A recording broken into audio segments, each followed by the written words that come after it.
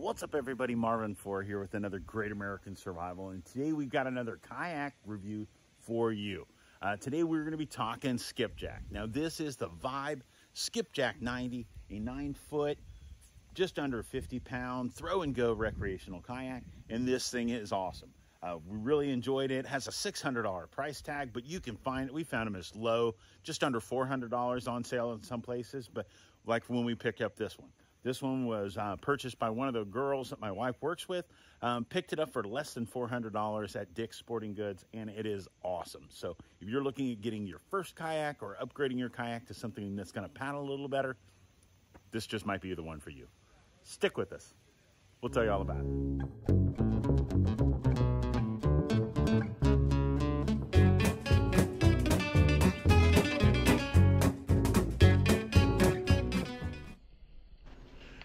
This video is intended for all ages. All right, so first off, we'll talk about the front of this kayak. Now, this is called the bow. The bow allows you, has a very nice ergonomic grab handle, very smooth, very sleek. Uh, also allows you a point to tie off your kayak if you have it on a roof rack or if you're putting it on a um, trailer or throwing it in the back of your truck. It gives you a point to be able to apply resistance so it's not going to fall off. Um, one of the things I think is amazing about Vibe kayaks, it's one of the most underrated things, is the fact that they put their drain plugs in the front. A lot of companies put them in the rear. The rear is a lot wider. Most things, the rear is wider. But in this, all that water that's inside your boat is all going to funnel to the front and almost scoop itself out through this hole when you open it. That's huge. Pull, top two thumbs up for that design. Uh, next, we have a front little uh, front bow mounted uh, cargo area. This thing got a nice little removable bungee. Throw your bag up here. If you're going out in the water and you don't want your things to get wet, you got to put them in a dry bag. Dry bag, throw it up here. You can pick them up in Walmart, Amazon, REI, wherever you're looking at, they have them. These things that will keep everything you're taking with you. Take a towel, change of clothes, put them in the bag. They'll be they'll stay dry. Very nice all this, see how this area is, see how this little cutout is right here? That allows when all that water that's, when you're paddling, if it's windy, if it's choppy, that water is gonna splash over the front of this, all that water is gonna drain out and drain back there to those scupper holes. I'll show you those in a second. Next, back here, this is our footwell. This is where your feet go. These are footrests for different length people. Uh, that help comes in super handy. Like I said, all that water, see all these little troughs that drain out? That allows the water to come back here and get out through these scupper holes. That's the reason why you buy a sit on top instead of a sit in. If you flip this boat and it fills up with water, when you flip it back up, all that water is going to bail out through those holes and give you get you back to normal because your hole is still closed up, so water won't go in. As long as you got this hatch closed, you're not getting water inside your boat. Uh, up front also, we have ourselves a little tray storage area. Allows you, if you're fishing, to throw your stuff up there. Back here, we have a rod holder and a bottle holder. Up here, we got a paddle holder. For when you're paddling, you want to sit your paddle down for a second. Boom, right across there. Two forward-facing, flush-mounted, built-in rod holders. Huge. That's awesome. Um, if you're fishing and you catch a fish, hold on. If you're fishing and you catch a fish, you want to be able to stick that rod in there and not worry about having to lay it down and it falling out of your boat.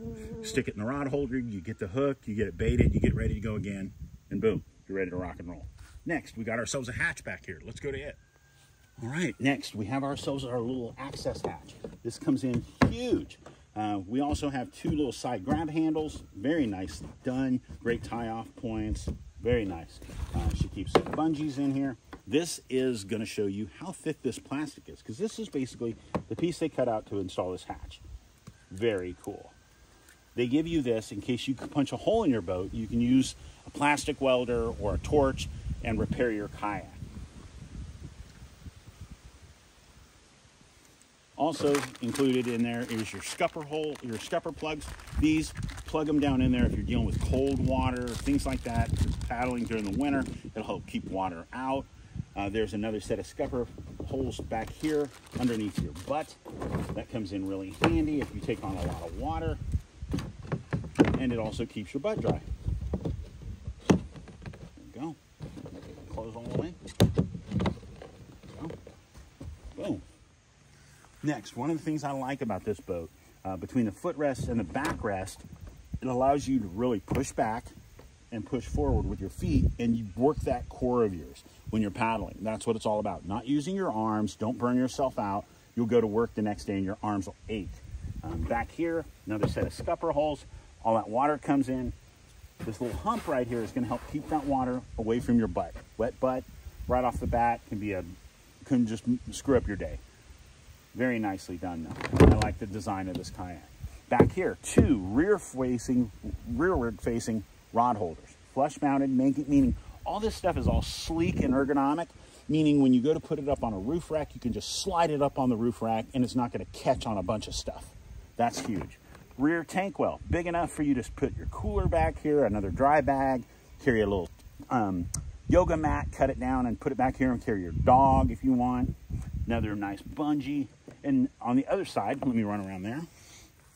This is our paddle holder. This is the one negative I have for this kayak is I wish it was like right there. Um, because this right here is far enough back where it's out of my way. But if you're carrying a 100 and, a 250, 210, whatever paddle, that thing is still three feet that way. I mean, they're huge. Uh, that's what you need though. Very nicely done. I love the fact that it's all roto molding and it's all smooth and flush. Huge. Let's go back here. Last but not least, as I said, you got nice little tie off points here, allowing you to tie things down. And you've got another amazing, almost two-handed grab handle. That's huge. That's awesome. Let's flip the boat over and we'll show you how this thing looks underneath. All right, so as you see, that is the rocker. That is what makes this kayak very nice. This kayak, allow, it allows this kayak to turn uh, very short. Uh, by not having a big high keel through the bottom, the rocker allows it to be more flat, means when it's going, you can turn very quickly. I like this. Um, not very many of these do. This one's still got a very nice keel, which means when you're going across the water, it's going to go straight. And when you want to turn, it's going to turn. As you see, it's got a very nice design across the bottom. And we those are the bottoms of our scupper holes. Now, this is also a very nice kayak because it's very thick plastic. Very nicely done. All right, so as you see, this is a very nice, very user-friendly, great budget-friendly kayak. Uh, being nine feet, it's gonna work really, really well. Uh, has like a 300 weight capacity, I believe. I'll put it down, I'll put it across here because I'm not really sure, but I'll double check. Uh, but this kayak is very nice. I love the fact that when waves come over, it just drains out. It paddles out so well. When we were playing in the ocean, the water would come up and drain right out. That was huge. It just made it where you could play and have a good time. I like this kayak for one of the biggest things I like about it is it's fast. Uh, when you're out on the water, this thing is fast. It paddles very well. Being small and lightweight, it tracks very well and paddles very well. As you saw from the design of the bottom, it makes it where it turns very aggressively. Uh, so if you want to paddle on some nice moving waters, like here in Georgia, we have the Broad River, we have the Chattahoochee.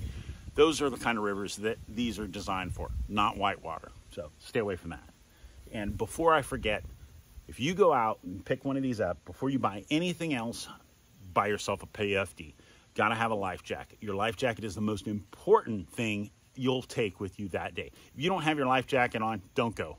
Stay home. Uh, this right here is a can be dangerous, but you have to have on your life jacket. I don't care how well of a swimmer you are. If you're a good swimmer, I understand that, but things happen when you're carrying a bunch of stuff and you flip this kayak, you want that life jacket on so the life jacket will make it where you don't have to worry about swimming and you can pick up all your crap that's in the river floating away from you. Uh, especially if you're fishing, you're talking rods are sinking, tackle boxes are going away. You can lose a lot of money flipping a boat. So I just want to make sure that you guys understand. Pick up a life jacket and get one. Don't buy one of these cheap orange things. Kayaking um, life jackets are not expensive. You can pick one up for $30, $40 and it'll still do everything you need and it'll be comfortable. Don't buy one of these cheap orange things that looks like you're going to be saving the Titanic. That's not what we want. Plan ahead and be prepared. Get yourself a nice paddle. The lighter the paddle, the more it's going to allow you to not wear your arms out after a day on the water. So Hope you guys enjoyed this video. If you have any questions, shoot them down below. I've been doing this for 30 plus years and I really enjoy kayaks. I think it's an amazing recreational activity and a great way to spend time with your family. So thanks for watching. Hope you enjoyed this. And if you did, give it the old thumbs up. Come back and see us again soon. We hope you have a great week. I'll put a link to Dick's Sporting Goods and Vibe Kayaks where you can go check out your own. Have a great week. Take time to get out there. Enjoy yourself. Enjoy nature. Be prepared. Stay safe. God bless, guys. We'll see you soon.